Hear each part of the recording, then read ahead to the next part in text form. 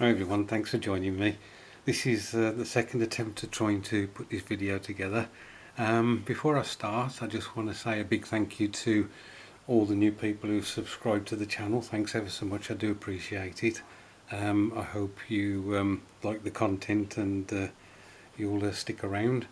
Um, and of course, to all my old hands, thanks ever so much for sticking with me. And um, even though I haven't been producing much content lately, you've um, you stayed subbed to the channel and I do appreciate that. Thanks guys. So as you know I am trying to do more matchbox builds, um, especially the armour and um, although Matchbox provide uh, a small diorama for them I thought I'd have a go at um, creating something a bit different with the kits and uh, I recently purchased two um, buildings, uh, resin buildings from Airfix. And as you can see the one in front of us is the uh, Italian townhouse.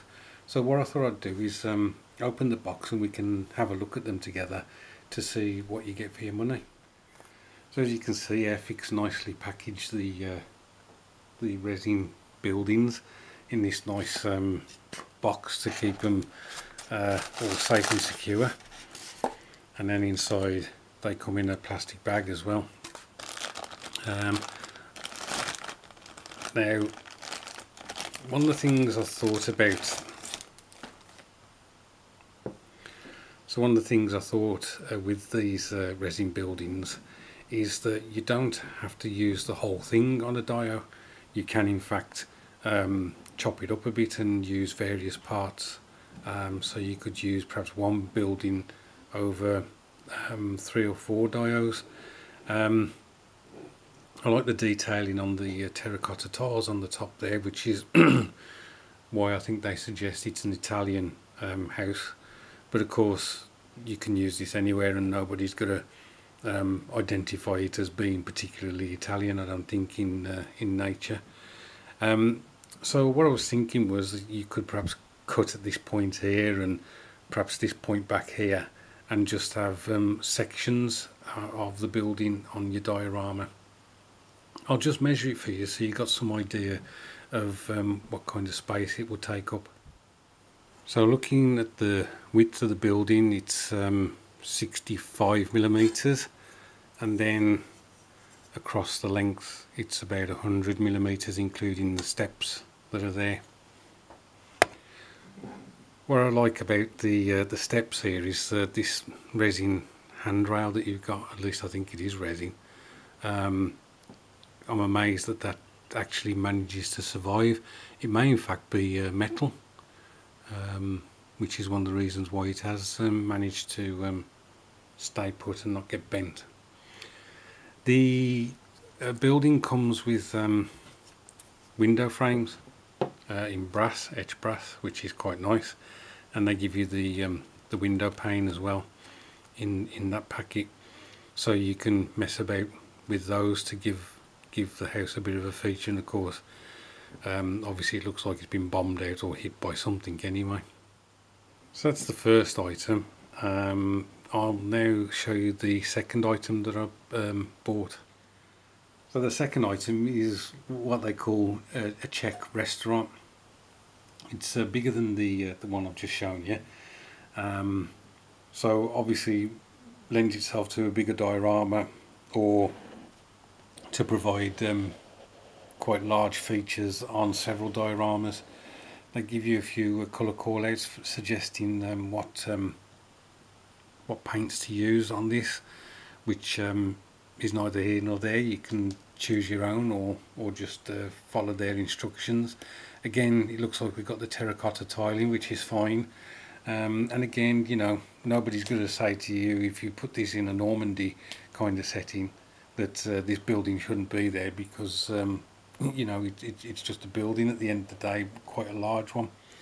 I'll get it out of the box so we can have a look at this one. One thing I have noticed is that uh, Airfix suggests that the smaller one is 176 in scale and this is 172nd again when you've got 172nd 176 vehicles I don't think it'll it'll matter too much um, having 176 with this particular one So I'll get it out of the box and we'll have a look at it together.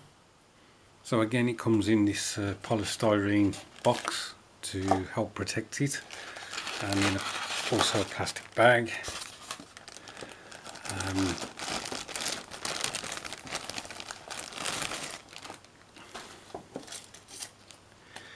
they actually put polystyrene between the walls as well to um, to try and give that some bracing so that it won't uh, snap or anything but as I say you can you can use this uh, in different sections on on several dioramas if you wanted you could just have you could cut down here for instance and just have this wall section on one diorama and this other half on another.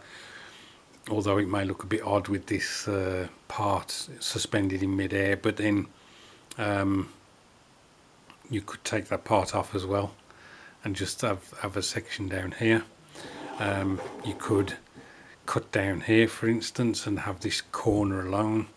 Um, if you've removed that then you could perhaps have a smaller section here. So I think there's quite a bit to mess about with if you want to. Um, one thing I noticed about this one is it's quite um, large interior so you'll be able to put a model in there no problem. Um, you know look as if it's uh, hiding.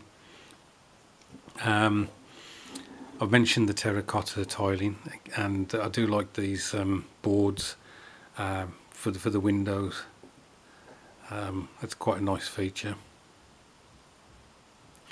We do get the um, brass again for the window frames and the plastic for the window pane.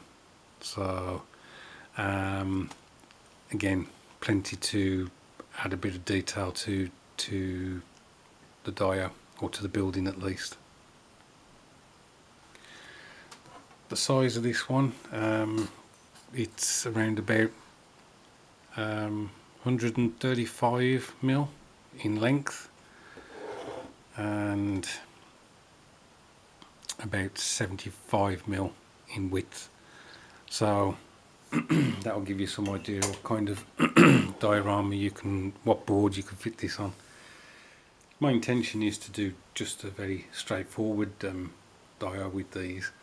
Uh, the only thing that kind of um, going to challenge me a bit is to get the rubble to look okay. Uh, Greg Riley does a very good job in 135th scale, um, you know, with debris and things like that, and I'll go try and replicate that in this um, smaller scale, which uh, will be a challenge for me. I usually um, don't uh, put buildings in for that reason because of trying to reproduce something that looks authentic enough um, so we will see anyway that's it. I thought I'd do a quick review for you guys. Um, I hope uh, your week has started well and your year has started well.